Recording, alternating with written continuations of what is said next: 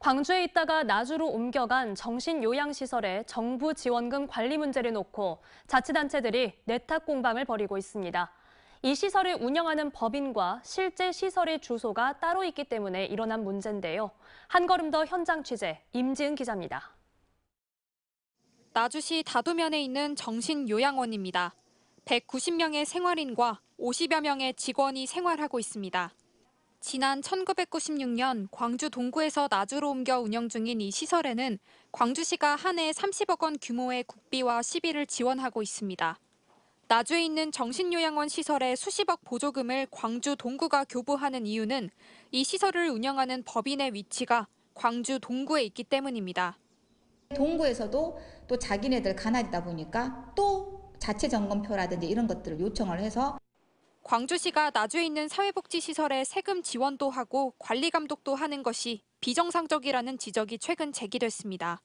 요양원에서 수십 킬로미터 떨어진 광주 동구가 복지시설을 제대로 관리 감독할 수 있을지 수십억 지원금이 제대로 쓰이는지 들여다보는 게 가능하냐는 겁니다. 동구 관내에도 있지 않은 시설에 수년, 수십 년간 동구가 보조금 사업을 하고 있다는 데서 서류를 받아보겠다. 이 문제가 불거지자 광주 동구와 나주시가 만나 관리 감독과 회계 감사를 누가 할지를 놓고 논의를 벌였습니다. 시설에 대한 관리 감독은 나주시가 하기로 양 자치단체가 뜻을 모았지만 회계 감독에 있어서는 이견이 큽니다.